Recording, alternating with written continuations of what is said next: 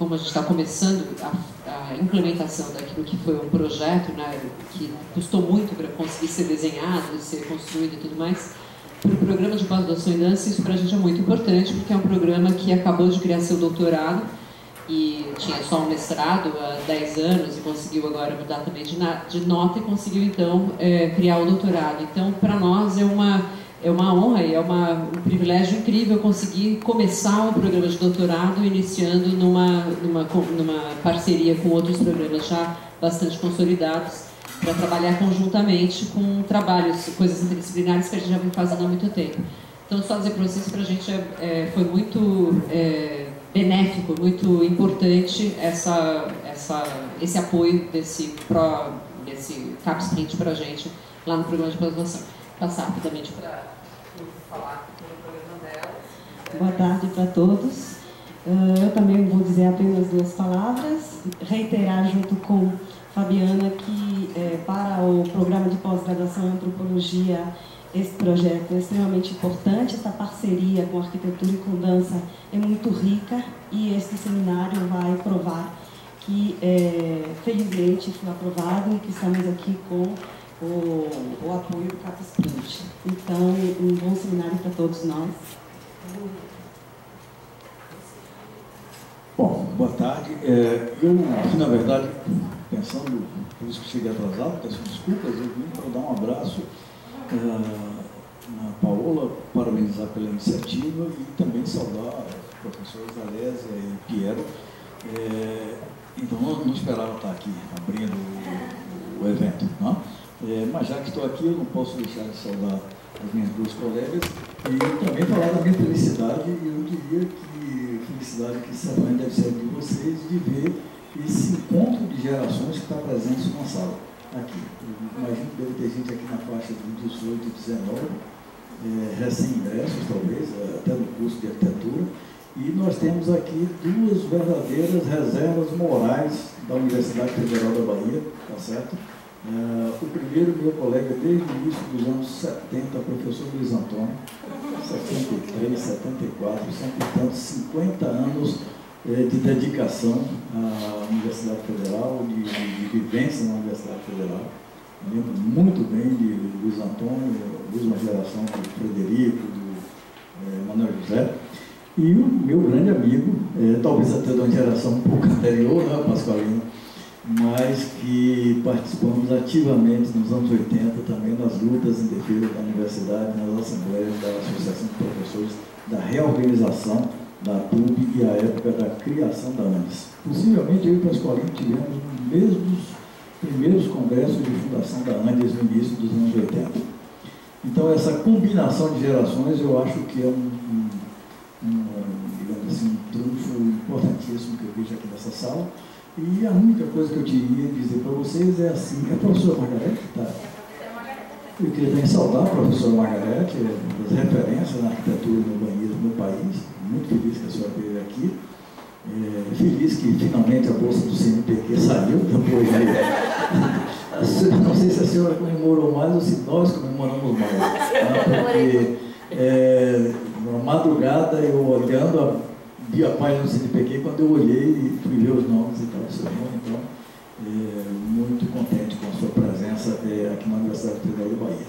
E eu acho que esse evento, pelo título, pelos temas, é, sinalizam que nós temos, nós, nesses tempos é, difíceis que nós estamos atravessando no país, na universidade, ah, esse evento mostra que a universidade é, deve continuar fazendo aquilo que caracteriza a missão da universidade, que tem caracterizado ao longo das décadas a missão da universidade, que é a da produção de conhecimento é, de qualidade, de conhecimento socialmente relevante, é, tudo isso sendo produzido numa universidade pública, gratuita e cada vez mais inclusiva. Então isso aqui é a prova viva é, da universidade, da universidade que resiste, como resistiu em outras épocas, como resistiu na década de 70, como resistiu na década de 80, é, como continua resistindo e como sobreviverá é, no, no, no, século XXI. Obrigado, Paulo.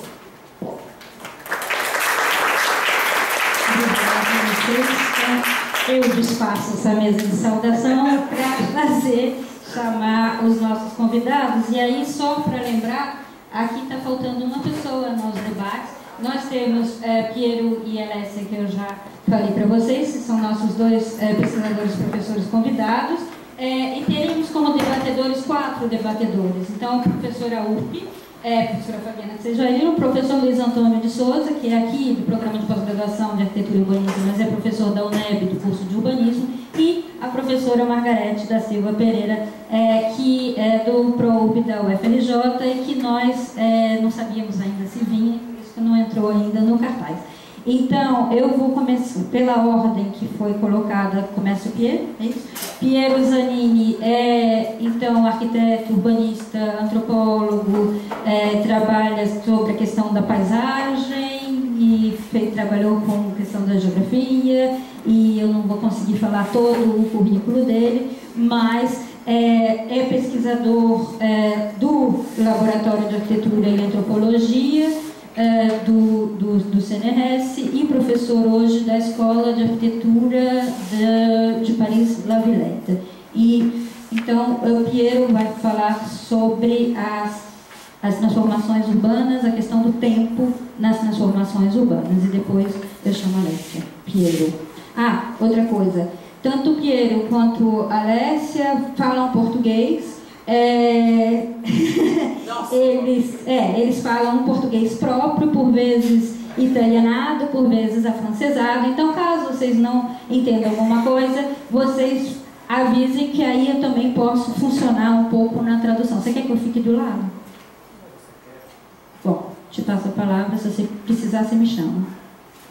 Pedir ajuda, muita ajuda muitas vezes. Desculpa por meu português horrível né?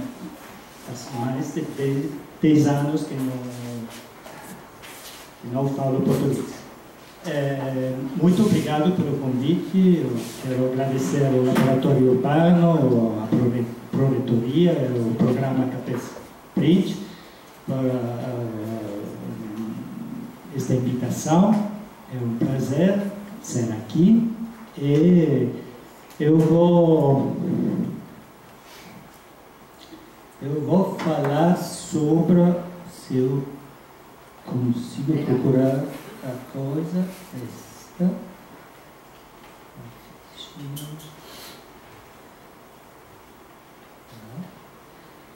Eu vou falar sobre uma pesquisa uh, que nós terminamos o ano passado no laboratório, mas não vou ilustrar toda a pesquisa, eu vou falar sobre uma parte da pesquisa, porque seria mais longe falar de tudo, e porque acho que pode ser interessante uh, botar na discussão a questão do, do tempo do ponto de vista da experiência. Não vamos falar sobre o que é o tempo, uh, vamos falar sobre as formas que o tempo pode pegar na vida urbana, no caso de Paris, por isso que são ideias da metrópole parisienne, e as coisas, vamos ver, são, pode ser muito diferente de uma cidade ou outra. O interesse é isto também.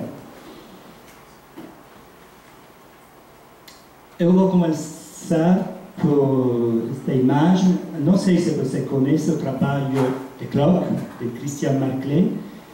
É um artista canadense que fez um trabalho muito, muito obsessional.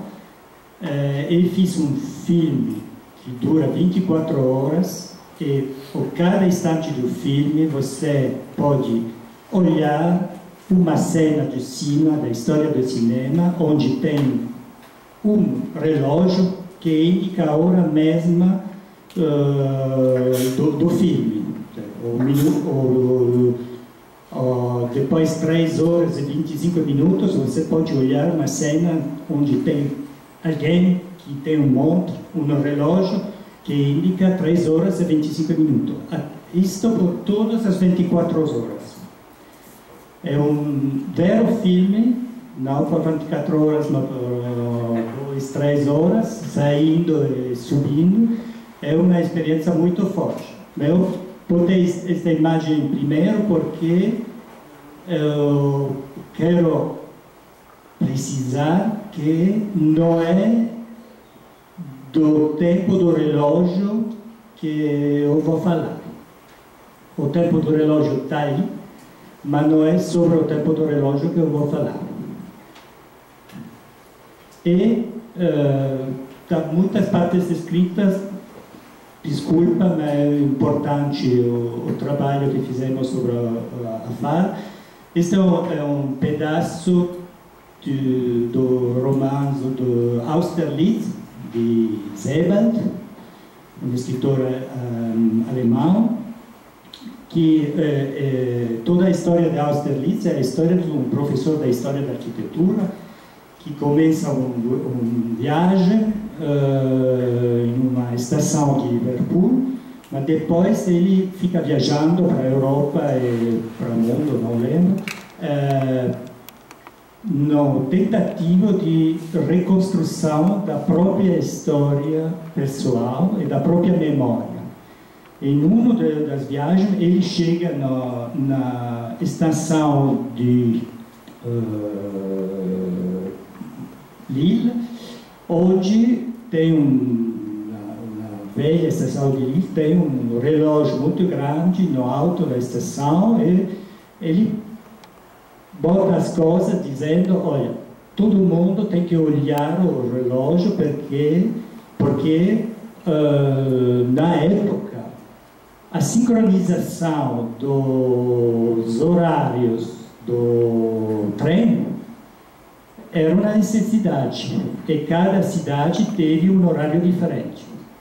A tecnologia do trem é aquela que produziu a, a primeira obrigação de sincronização do tempo na, nas diferenças entre as diferentes cidades.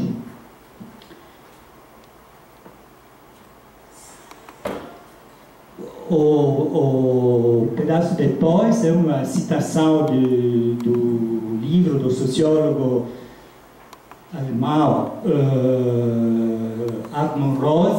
escreveu sobre a aceleração da modernidade e como uh, e de, da redução do tempo. O problema da, da, da sociedade moderna é a aceleração.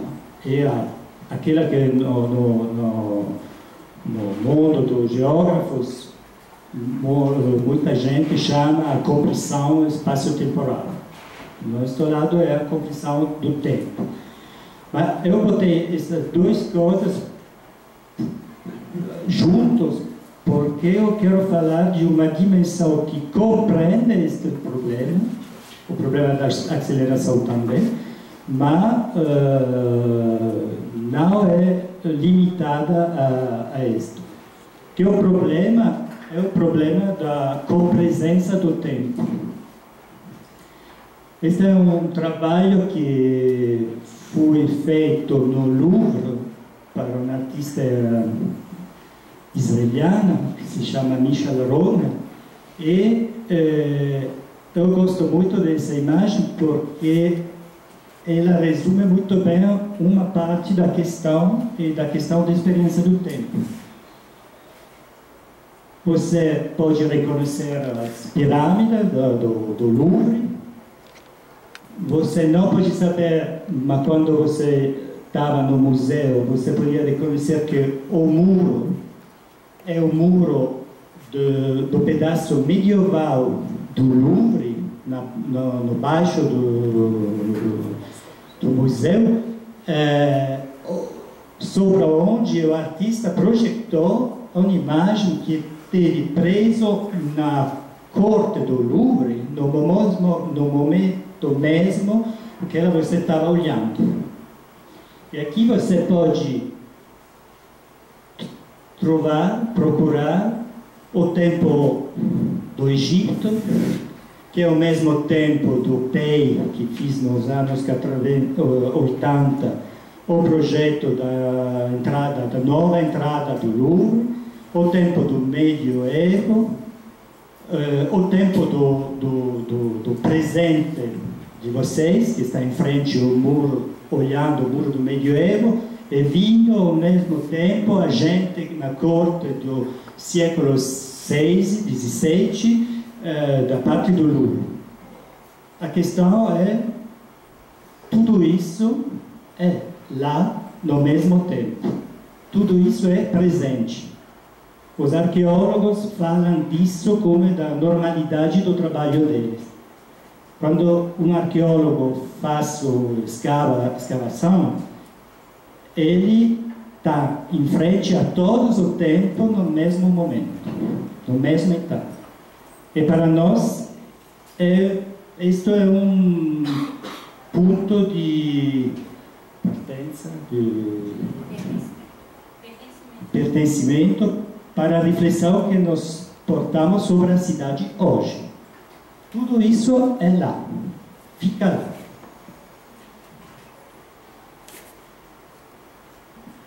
De que é feita esta experiência do tempo sobre o que eu estou tentando falar? Vamos ver se no final conseguimos responder a, este, a, a, a esta questão. Como é que se torna consistente no cotidiano da, da, das pessoas? Como é que ela pode ser qualificada, esta experiência?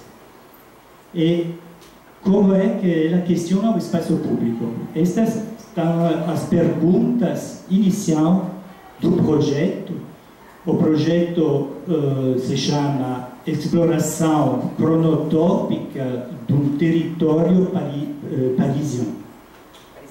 Parisiense. Que estava, uh, a, recherca, a pesquisa estava dirigida para o, o Alain Guez. E Alessia também trabalha, uh, trabalha aí com outra pesquisadora, que Federica Gatto. E o debate, esta estava a questão uh, em frente a nós. Essa imagem é a imagem da cidade hoje, mas que é o mesmo tipo, de temporalidade mais curta, da, daquela do Museu do Louvre. Uma cena normal, de vida normal na cidade, neste caso é Paris, pode ser Salvador também, não é esse o problema, na qual bom, não é fácil ler, mas tem uma questão de forma urbana, tem uma questão de fabricação da, fabricação da cidade, tem eh, eventos, aqui estava na época do campeonato, último campeonato do mundo de futebol, tem horários particulares, aqui é happy hour, tem momento de atividade na cidade preciso, que tem temporalidade, tem gente que está esperando algumas coisas, pode ser um ônibus ou outras coisas, pessoas que estão trabalhando sobre o smartphone, como todo mundo, tem um canteiro, um canteiro, onde podemos reconhecer estratos da cidade em tempo precedente, todas as coisas estão aí, ainda. E isso é só por mostrar a você o o tipo de trabalho que fizemos, tem um plano, uma mapa de Paris, e nós trabalhamos sobre um, um como se chama, um transept, uma, um, não sei como, como se chama em francês, em português. Transept. Como, Paulo, como se chama? Transept.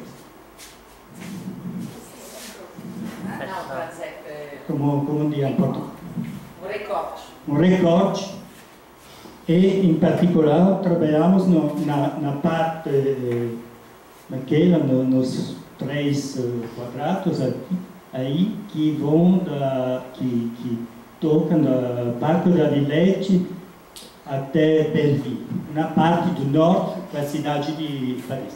Então, este pedaço é aquele onde fizemos um trabalho etnográfico mais uh, intenso, mais profundo.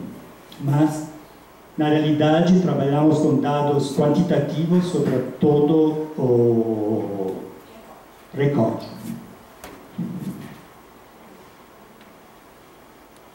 A questão é como podemos falar sobre a experiência da cidade. Quem pode falar? Porque, com, eh, de qual maneira podemos produzir etnograficamente uma matéria que toca a questão do tempo, mas não em uma maneira metafísica, de uma maneira muito concreta. A primeira entrevista que fizemos foi um desastre. Porque a pergunta, começamos perguntando, mas o que, que você acha do tempo, do tempo de vocês? Do, do, do, a gente está lá, olhos e, e, e, não sei nada. Depois de duas horas de entrevista, não sei nada. Tem nenhum interesse nas coisas que saíram. Voltamos, discutimos muito e decidimos não. A entrada do tempo, mesmo se falamos sobre o tempo, mesmo se estamos pesquisando sobre o tempo urbano, não é uma boa entrada. E decidimos que toda gente pode falar facilmente do cotidiano dele. O que acontece, onde ela vai, o que ela faz, quando, uh, tudo isso. E uh, decidimos de maneira muito mais uh, convicta, consciente, de começar a falar sobre, a perguntar a gente questão sobre o cotidiano dele ou sobre o, o bairro que ele, eh, onde ele viviam ou trabalhavam. O bairro no sentido muito largo. Nós não, nunca definíssemos a priori o, o, a extensão do, do bairro. Era a gente que decidia até onde o bairro dela ficava. Podia ser em outra cidade, podia ter escalas muito, muito diferentes. No, no caso desta pesquisa, o, o cotidiano, para nós, é um, uma, um modo de temporalização. O cotidiano indica já uma forma possível de temporalização da experiência, das práticas, que não está separada da formação espacial causal, uh, da qual faz parte e que, de uma certa maneira, contribui a estruturar. Mas ele não se reduz a, a, a, o cotidiano é uma maneira de entrar no discurso, de subir no discurso, não, de entrar, de chegar no discurso, deixando aberta todas as possibilidades. Você pode falar, mesmo metafisicamente, não tem problema, mas o ponto uh, de início é um ponto de início que parte da, da, da, da vida, do, uh, cotidiana da gente. Tudo está aí.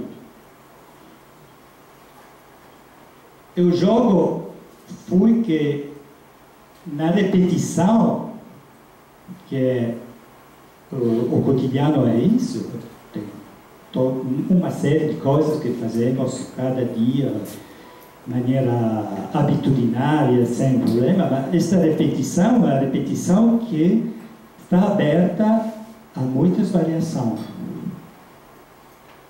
E, para contraste, pode, pode fazer sair, subir, energia ou extraordinário.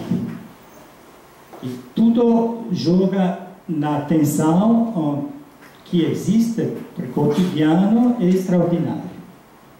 E na articulação possível que na vida da gente pode, nas variedade de formas que na vida da gente essa tensão pode, pode assumir. E o, o, termo experiência, a palavra experiência, tem que ser uh, entendida aqui como, como aquela de uma narrativa. De manhã falamos muito de narrativa, que é uma narrativa que é capaz de captar o tecido cronotópico da experiência da vida de alguém. Uh, seja, seja ele uma pessoa que mora aí, seja uma pessoa que trabalha, pode ser um turista também, não, não importa. E a experiência não é constituída somente das ações, mas, mas é, é, é também feita de sentimentos, expectativas, desejos, imagens, impressões. E aquilo que foi surpreendente para nós foi a riqueza desta palavra que saiu para a gente e que no, uh, foi veramente uma matéria muito, muito, muito rica. Muito difícil a trabalhar, mas muito rica. E, e, e essa experiência emerge na articulação, sempre na articulação de diferentes escalas espaciais e temporais. Ninguém vive a uma só escala. Ninguém todo mundo média entre escalas diferentes. Seja espacial, seja uh, temporal. E no, no setor onde nós trabalhamos, de maneira particular, porque tem uma parte da cidade de Paris que subiu muitas transformações nos últimos, uh, nas últimas décadas, de 20, 25, 30 anos, constantemente teve operações públicas, privadas, de transformação, uh, de transformação da área. Vamos no, no, na matéria viva das palavras da gente. Eu vou mostrar alguns casos, exemplo, uh, que acho pode ser interessante admitir sobre a maneira no qual a transformação urbana sai no discurso da experiência do tempo da gente que, que mora em uma cidade como Paris. O início é lei é a parte menos ligada à transformação, é interessante porque é uma pessoa que tem uma vida noturna muito ativa, é um apaixonado de música techno, ele frequenta lugares dedicados a esta música e as práticas são em grande parte noturnas, pode durar uh, uma noite dia e meio, dois, três dias em Berlim. Ele tem um, não é o trabalho dele, mas é um profissional da disciplina festiva. E ele fala sobre a, percepção dele quando ele sal, sai da local, como a, a boate, a boate é, a meio-dia, depois uma noite inteira de música, assim, e o problema é que a boate é no centro de Paris, ele sai ao meio-dia e ele encontra gente que faça uma outra atividade. Sábado ou domingo, ele encontra gente que faça a vida normal do... e ele percebe o decalagem dele, defasagem dele respeito a gente normal, entre aspas, e ele fica embaraçado um pouco. Ele não quer encontrar os vizinhos quando ele sai da, da boate. E ao mesmo tempo, ele diz, essa, é uma qualidade da cidade de Paris, mas é uma qualidade negativa. Negativa porque, por ele, na sua experiência, numa cidade como Berlim, a coisa não acaba assim. Porque as boates são ah, mais longe do centro e a cidade não tem a mesma densidade de Paris. Já neste pedaço você viu que tem uma disposição comparativa